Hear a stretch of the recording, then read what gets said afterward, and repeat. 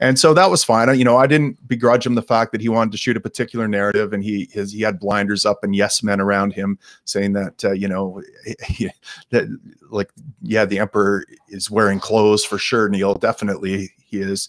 Um, I didn't begrudge any of that, but what really picked, pissed me off was he went to to uh, Washington D.C. the week after, and he talked about my community in very belittling terms. He said that uh, Fort McMurray looked like Hiroshima and Nagasaki. Uh, he said that we are committing genocide on the First Nations people up there, when in fact the exact opposite was true.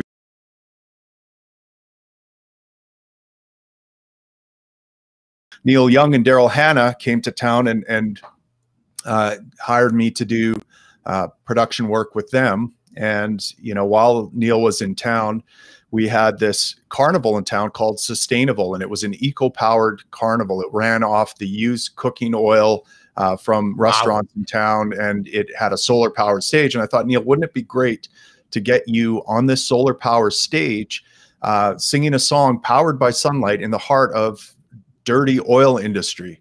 Right, just as an artist, that has to appeal to you. Yeah. This juxtaposition of where we're at and where we're going. You know, because to me, the people of Fort McMurray were doing something very similar to what Neil Young was doing and and have the same kind of environmental consciousness as him and you know Neil had spent over a million dollars working on this hybrid piece of technology that was very didn't work very well it was very carbon intensive by the way because he would only burn one type of the, the cleanest ethanol made at the cleanest plant in the US. So he would have to have diesel burning trucks bring him this clean burning fuel so that he could say his carbon emission was low. So his operation was emitting quite a bit of carbon, uh, similar to Fort McMurray. And you know, I didn't begrudge him that fact. It's like you, you want to get to that next energy paradigm, you need to invest time and money and energy into that next paradigm, into that next innovation. And that's exactly what was happening in Fort McMurray. Incredible dynamism because of all the capitalism and entrepreneurship going on.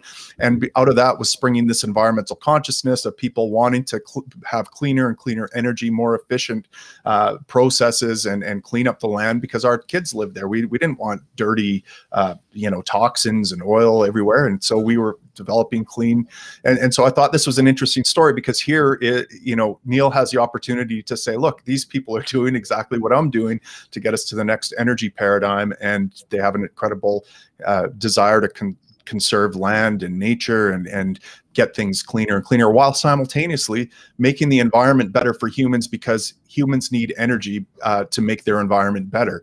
Uh, otherwise they die horrible deaths from all the pollution that nature gives us through you know bacteria toxins viruses pandemics what whatnot fossil fuels protects us against that. And eventually we're going to get past fossil fuels and it's going to be because of the ingenuity of people like those working in oil industry in fort mcmurray. Uh, so that was what i'd hoped his story would be and that's kind of what i encouraged him to tell. But of course he didn't want to, to, stand on that solar powered stage. He didn't want to talk about the solutions being generated. Um, he didn't want to talk about how fort mcmurray is the most charitable uh, place per capita in Canada, uh, and that's precisely because of all the wealth produced there. He didn't want to talk about how he had his son even on the tour with him, and son has cystic fibrosis, and and you know his he, he lived far past his life expectancy. He was expected to live till 18, and he lived he was in his 30s, and he had your you know round the clock nursing care. He was on this diesel burning bus that Neil provided for him, so he could be with dad on his adventures and all that was provided to him thanks to the you know you can link a causal chain back to the, the dirty smokestacks of the industrial revolution that allowed a guy like neil to make noise with uh, an instrument and his voice and uh, earn a fantastic living because of that. That was all possible thanks to town the industrial revolution and towns like fort mcmurray that were generating wealth and productivity. And so you know here neil was in my opinion essentially throwing the very thing keeping his son alive under the bus and and shooting himself in the foot. So of course, uh, you know Neil didn't want to shoot that. He wanted to go shoot what I call oil sands porn, all the ugly, nasty stuff in the oil sands. The stuff that looks bad.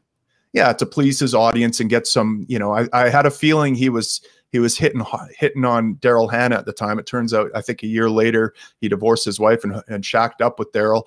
So, you know, how are you going to get into the, the, heart of a hippie chick like Daryl Hannah while you're going to go on the road and make a film decrying dirty oil and, and everything that Neil was doing. And so that was fine. You know, I didn't begrudge him the fact that he wanted to shoot a particular narrative, and he his he had blinders up and yes men around him saying that uh, you know he, that like yeah the emperor is wearing clothes for sure. Neil definitely he is. Um, I didn't begrudge any of that, but what really picked, pissed me off was he went to to uh, Washington D.C. the week after, and he talked about my community in very belittling terms. He said that uh, Fort McMurray looked like Hiroshima and Nagasaki.